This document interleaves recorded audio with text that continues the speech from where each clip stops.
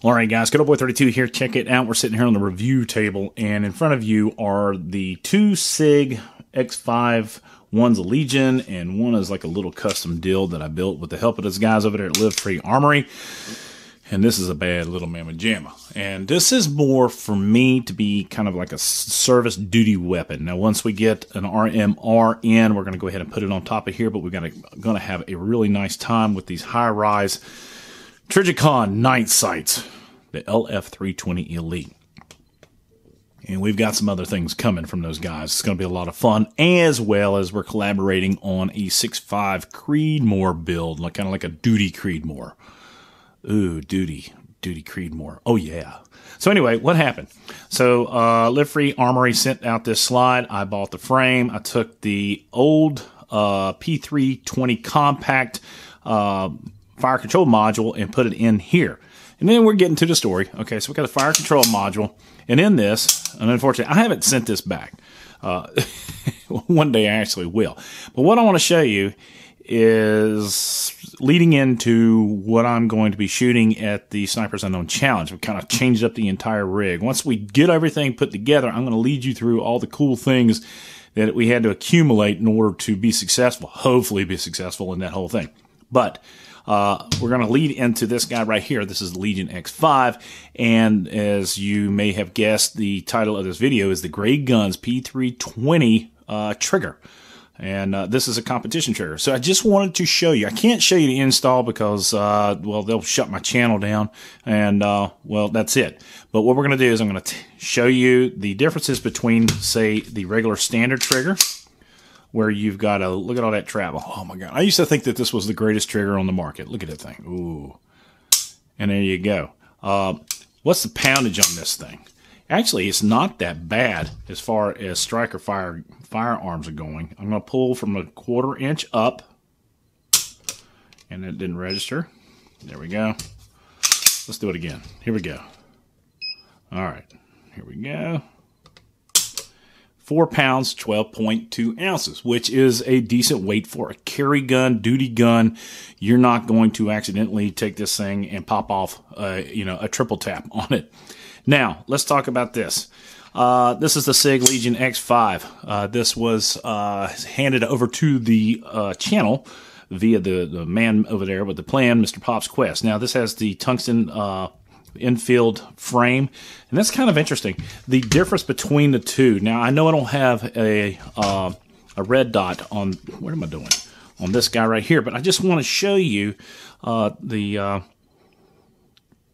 tungsten field frame compared to that's 40.3 ounces, and then this with the regular X5 is 28.5 ounces. So a huge difference in there. Now, what does that relate to uh, while you're shooting? You're going to have a lot less recoil, a lot less muzzle flip. So this is why this is my going to be my go-to gun for competition. And I may, when I ever, if I ever go into uh, shooting uh, tac op, not tac ops, but if I go into shooting any of the uh, uh optics carry carry optics in USPSA, I'll probably just shoot this thing.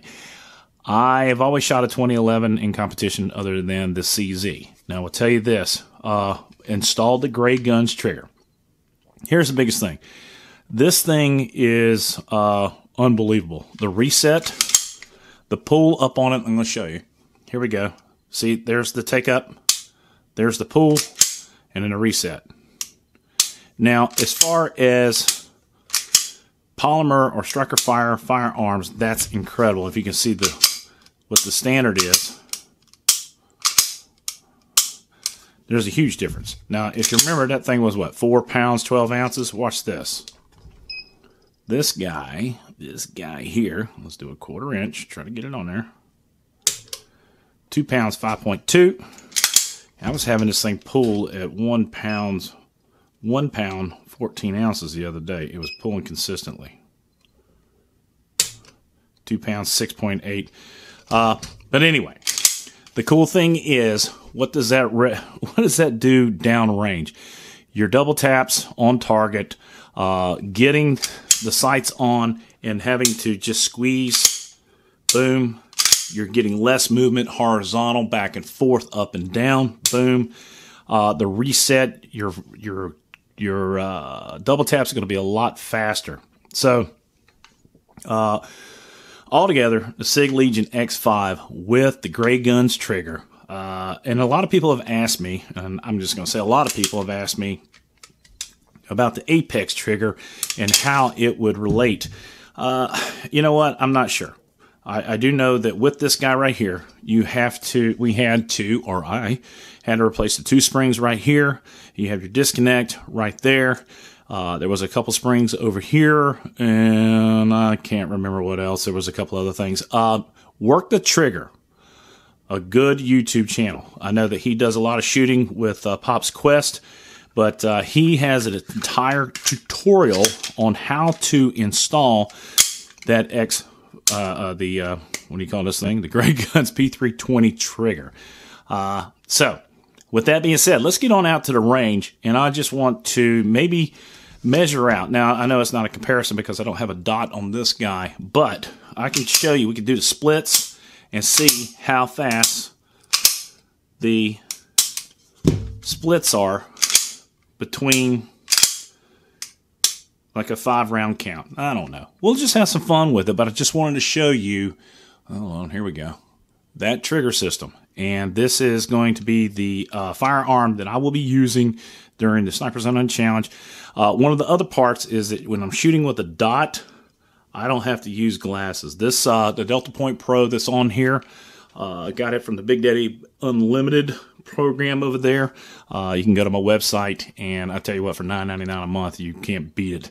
But I saved more money on this than I would have spent on the subscription for uh, the whole year, and I'm not joking. So anyway, uh, yeah. So we're to take this thing out. We're to bang some steel with it. We're to have some fun. Let's do some splits and see how they look side by side. Let's get on out to the range and see how it rolls. Stand by. All right, guys, so we're sitting out here at the range, and uh, I'll be quite honest with you. I did a tabletop review on this trigger system uh, prior to going to the Snipers Unknown, and of course, right now we are after Snipers Unknown. But in any case, I will tell you this. Uh, yeah, Grayguns Trigger. They did a great job on this guy. Um, very well, nicely done. So we are actually uh, shooting at some steel by Mr. Jonathan Campbell over there. And uh, we're going to be doing a review on that here pretty soon. But what I want to do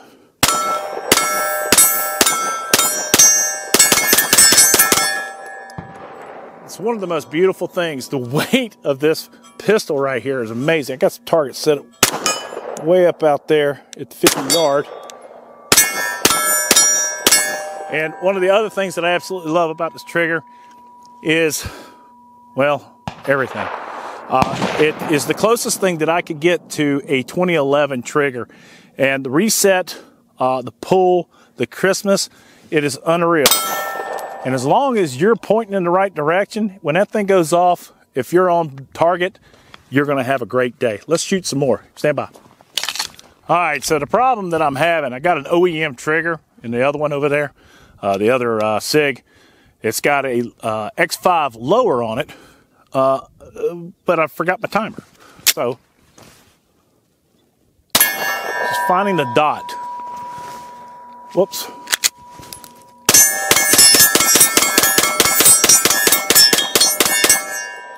Repeatability and this is what my good friend Rob was talking about, is that those are mostly all A zones, as fast as you can pull the trigger. Double taps are ridiculously smooth with this trigger.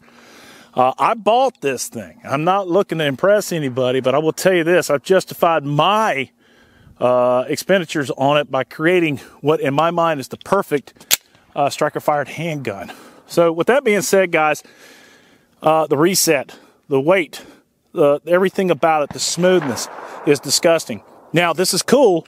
Uh, just took receipt of the Wilson Combat uh, P320 that came with a Grayguns trigger with a separate set of springs in it. So we're going to be testing that out here in the upcoming weeks and just having fun. But I will tell you this, I have, as an overall package, especially with the Surefire on there, added weight, the tungsten grip, the trigger, uh, the Delta Point Pro, This thing is absolutely ridiculous. Uh, so if you're looking to uh, increase in a competition gun, I would never carry this trigger, by the way, in a carry gun. Uh, just too much could go wrong. All you have to do is flinch and bam, it would go off. But I will tell you this, as far as competition triggers, if you want to bring your, you know, very expensive handgun up to where it needs to be, that guy right there. It's kind of a shame that you got to spend what $165 to bring already a thousand dollar gun up to the next level.